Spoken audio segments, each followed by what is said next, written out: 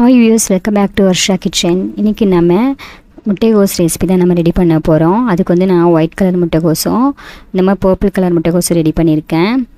First ஒரு பேனில் நம்ம கொஞ்சமாக பெருஞ்சீரகம் ஆட் பண்ணிக்கலாம். இது கூட நம்ம ஒரு பெரிய வெங்காயமும் சின்ன சின்ன சைஸில் கட் பண்ணி நம்ம ஆட் பண்ணிக்கலாம்.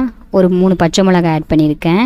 நெக்ஸ்ட்டு நம்ம இந்த முட்டைகோஸுக்கு தேவையான அளவு நம்ம உப்பை ஆட் பண்ணிக்கலாம். இப்போ நெக்ஸ்ட்டு நம்ம கட் பண்ணி வச்சுருக்க முட்டைகோஸு ஆட் பண்ணிக்கலாம். இப்போ ஆட் பண்ணிவிட்டு நல்லா மிக்ஸ் பண்ணிக்கலாம் எல்லாத்தையும். இது கொஞ்சம் நேரத்துக்கு வரைக்கும் குக் ஆகட்டும். குக் ஆனதும் இப்போ ஒரு ஸ்பூன் அளவு நம்ம சீரகத்தூளும் ஒரு ஸ்பூன் அளவு மிளகுத்தூளை ஆட் பண்ணிக்கலாம். ஆட் பண்ணி நல்லா மிக்ஸ் பண்ணிக்கலாம். இப்போ ஒரு ஸ்பூன் அளவு மஞ்சத்தூள் ஆட் பண்ணிக்கலாம். இப்போ இதையும் நல்லா நல்லா மிக்ஸ் பண்ணிக்கலாம்.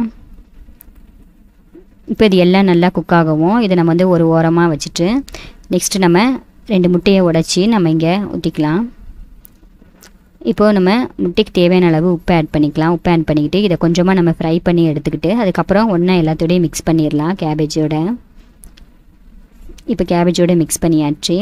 இப்போ சூப்பரான நம்ம எக் கே எக் கேபேஜ் ரெடி ஆயிடுச்சு. இது வந்து நீங்கள் சாதத்தோடையும் குழந்தைங்களுக்கு ஃப்ரை பண்ணி தரலாம்.